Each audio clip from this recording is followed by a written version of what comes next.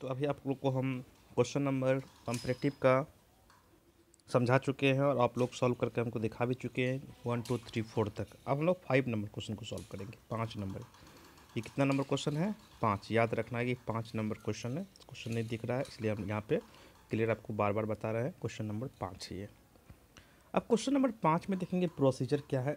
जैसा कि हमको दिखने से लग रहा है क्वेश्चन नंबर पाँच ऑलरेडी सॉल्व किया हुआ कंप्लीट कंप्लीट सॉल्व कर दिया है उस, इस क्वेश्चन को। जैसा फॉर्मेट है वैसे उतार देना आपको। दो कॉलम इधर एक्स्ट्रा बना देना आपको। एक अब्सोल्यूट चेंज का इस साइड में मतलब लास्ट में आप एक कॉलम बनाएँगे। अब्सोल्यूट चेंज कॉलम बनेगा एक और एक बन जाएगा आपको चेंज इन परसेंट ये कॉलम को यहाँ बनाएँगे लास्ट में ठीक है? अब्सोल्यूट चेंज और चेंज इन परसेंटेज का। ये दो कॉलम तैयार कर देना है। जैसे है वैसे रखना है। कुछ भी चेंज नहीं करना आपको। बाकी क्या करना है आपको? एक अब्सोल्यूट चेंज निकाल देना है यहाँ पे। आपको निकालने आता है? ये पाँच लाख है, सात लाख है तो कितना अब्सोल्यूट चेंज जाएगा? दो लाख रुपये चला जाएगा। पचास है, साठ है तो कितना जाएगा अब्सोल्यूट चेंज दस हज़ार जाएगा। पाँच लाख पचास है और छः लाख साठ है तो कितना अब्सोल्यूट चेंज चला जाएगा दो लाख दस हज़ार चला जाएगा। दो लाख है, तीन लाख है, एक लाख चला जाएगा। पचास है, चालीस है तो माइनस में, ब्रैकेट में कितना चला जाएगा? दस हज़ार चला जाएगा। इस तरह से आप अब्सोल्यूट चेंज कंप्लीट निकाल देंगे। जब आपका अब्सोल्यूट चेंज कंप्लीट निकल जाएगा तो आप क्या करेंगे? जो अब्सोल्यूट चेंज कंप्लीट निकालने के बाद आपका ये प्रॉफिट निकाला हुआ है। देखेंगे यहाँ प्रॉफिट लिखा हुआ है यहाँ पे। तो हम लोग क्या करेंगे? एक क्वेश्चन में एक नया चीज़ दिया है, जो कि, ओहो।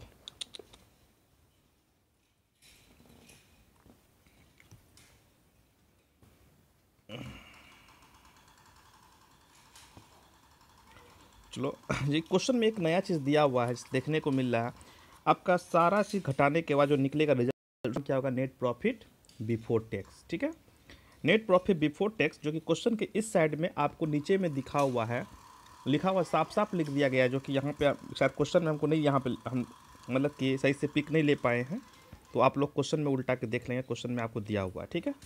फिर बोल रहे हैं, उस बात को हम रिपीट कर रहे हैं कि यहाँ पे हम पूरा कंप्लीट पिक नहीं ले पाए हैं तो मिस हो गया है तो आप लोग देख लेंगे, जो कि बुक में साफ़ लिखा हुआ एडिशनल इन्फॉर्मेशन में other expenses include provision for tax यानी कि अदर एक्सपेंस बड़ा ट्विस्ट क्वेश्चन में। ये अदर एक्सपेंस जो है, एक लाख दस, एक और दो हज़ार। तो आप जब क्वेश्चन सॉल्व करोगे तो एक लाख दस और दो लाख बीस नहीं दिखाओगे। क्योंकि इस अदर एक्सपेंस में साठ हज़ार रुपया जो है, वो प्रोविज़न फॉर टैक्स का पैसा है। तो अदर एक्सपेंस में से एक लाख दस में से कितना घट जाएगा? साठ हज़ार रुपया प्रोविज़न फॉर टैक्स का पैसा घट जाएगा। तो बचा कितना? पचास हज़ार रुपया ही दिखाना आपको अदर एक्सपेंस 2019 में। क्लियर अब आते हैं 2020 में। 2020 में कितना है अदर एक्सपेंस दो लाख बीस हज़ार है। दो लाख बीस नहीं दिखाना है। उसमें से घट जाएगा प्रोविज़न फॉर टैक्स का। वर्किंग नोट में कर लेंगे वो काम। तो बचेगा कितना मेरा? एक लाख दस हज़ार ही दिखाएँगे हम लोग। क्या दिखाएँगे? अदर एक्सपेंस को। तो अदर एक्सपेंस हो एक्चुअल में हो जाएगा कितना? अदर एक्सपेंस रियल में हो जाएगा आपका पचास हज़ार और एक लाख दस हज़ार। अदर एक्सपेंस दिखा देंगे। तो आपका ये टोटल जो यहाँ पे है चार लाख, ये टोटल अलग हो जाएगा तब। ये टोटल कुछ और निकल जाएगा आप क्योंकि यहाँ पे डिफरेंस आया, इसमें घटा है, इसमें घटा है तो ऑटोमेटिक टोटल में भी अंतर आएगा। टोटल कुछ और हो जाएगा जो आप, आपका आएगा वो निकाल देंगे आप। फिर जाके ये हो गया आपका ए ये टोटल मतलब इसको हम लोग टोटल नहीं लिख के हम लोग क्या लिखेंगे? Revenue total revenue total revenue A हो गया मेरा, और टोटल एक्सपेंस क्या हो गया मेरा? इसको टोटल एक्सपेंस लिखेंगे। टोटल एक्सपेंस क्या हो गया मेरा? बी तो ए माइनस बी करेंगे तो बिफोर टैक्स निकल जाएगा। बिफोर टैक्स पे ये नहीं निकलेगा, कुछ और निकलेगा हम लोग का, जो निकालेंगे हम लोग, ठीक है? बिफोर टैक्स निकालने के बाद उसमें से हम लोग लेस करेंगे प्रोविज़न फॉर टैक्स जो provision for tax additional information में अदर एक्सपेंस लिए कितना?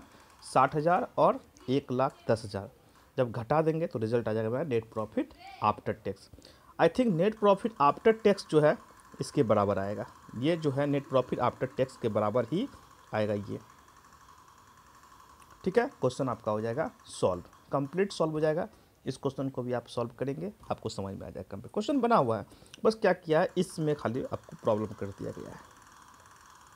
यहाँ पे आपको एक लाख दस के जगह पे दिखाना है साठ, यहाँ पे दो लाख बीस के जगह पे दिखाना है एक लाख दस। जो पैसा बचा वो टैक्स बन जाएगा प्रोविज़न फॉर टैक्स तो ये, इसके कारण आपका टोटल एक्सपेंस भी अंतर आएगा बिफोर टैक्स भी बदलेगा। बस इतना ही है और कुछ प्रोसीजर नहीं है। एकदम सिंपल क्वेश्चन है। आसानी से आप लोग को समझ में आएगा, इसको भी आप लोग सॉल्व करेंगे। है